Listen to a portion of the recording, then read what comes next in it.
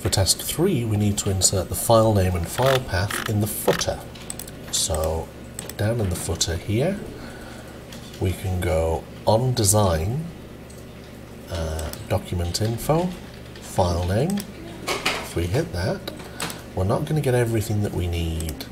Whereas if we choose file path, we do get everything we need. So if I just delete everything that I put there, document info, file path, and that gives me everything that I was asked for.